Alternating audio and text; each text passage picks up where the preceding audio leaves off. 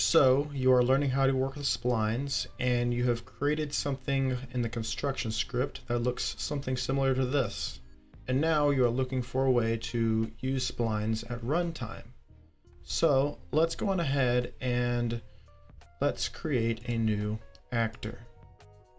I'm going to name mine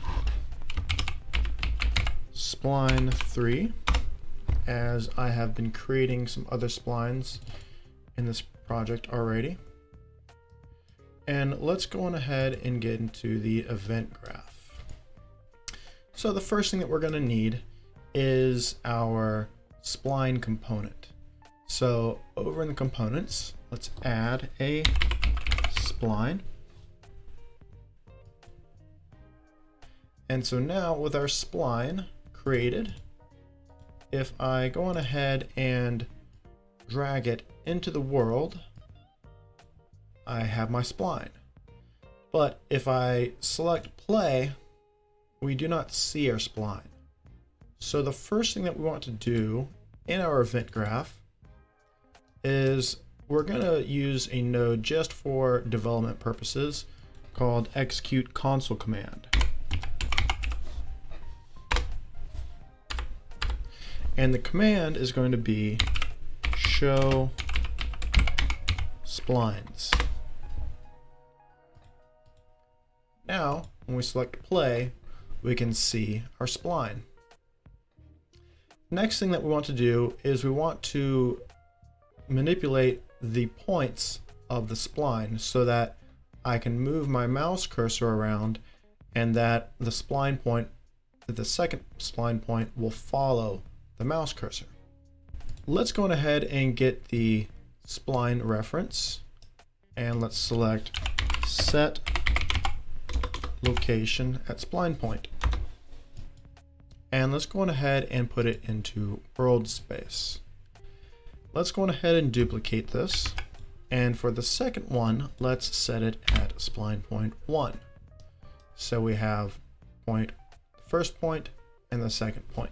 The first point let's go on ahead and leave that right at the actor's location in the world, which is our default scene root. For this, let's go on ahead and get actor location. And for the second one, what I want to do is I want to use the get hit result under cursor by channel node. For this, we're going to need a reference to our player controller. So what we're going to do is let's drag our begin play over to make some space and let's get player controller. Let's cast to it and let's promote it to a variable. With our player controller reference created, let's go on ahead and get that and now let's get our hit result under cursor by channel. Let's leave the trace channel to visibility, drag the hit result and get the break. We're going to use the location of the hit result as the location for spline point one. Finally, in order for this to update as we move our cursor, we're going to use a delay node. And we're going to loop that back to the set location at spline point. So now when we hit play, we have our spline where the second point is following the cursor. Now that we have our spline updating and following our cursor, let's go on ahead and add a spline mesh component. Go on ahead and attach our spline updates. And let's get these out of the way for the time being. Let's go on ahead and select add spline mesh component. And let's go ahead in the details panel and select what we want to use.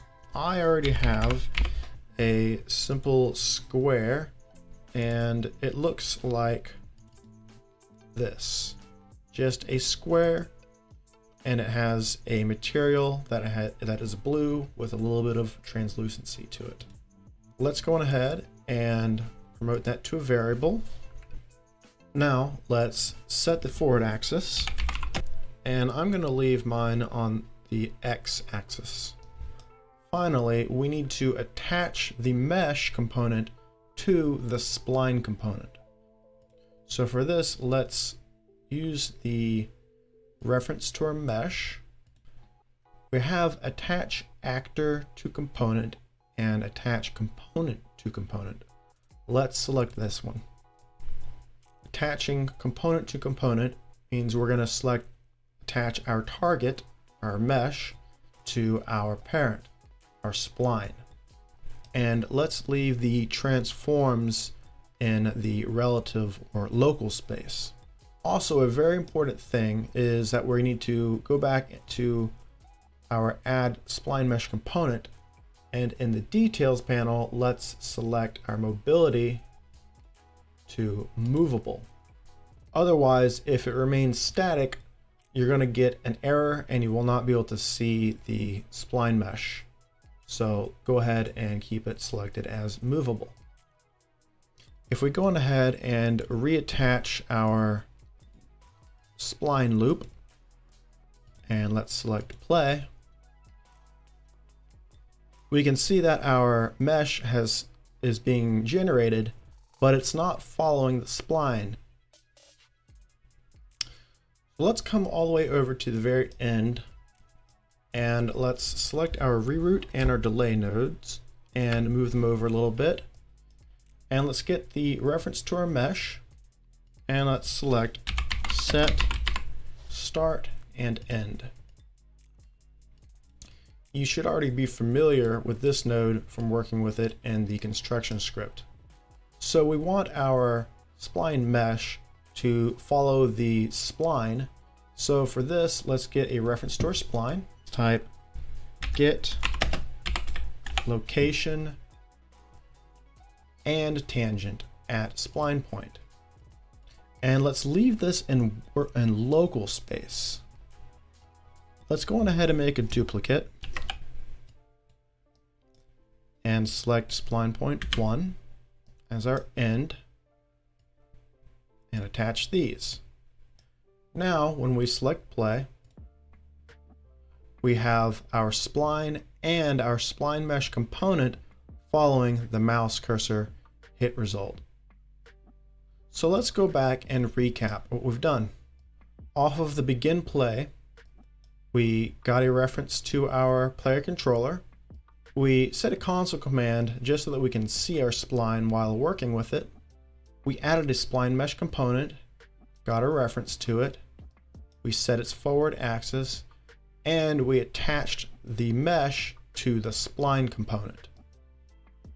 For our spline, we set our first spline point to the to the actor's location, which is our default scene root, and that is in world space.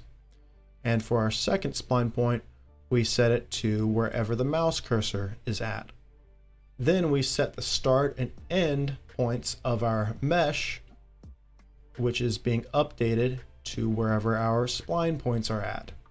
And finally, we set the delay, which loops back to the set location at spline point 1 so that both of these nodes will update every 0.1 seconds.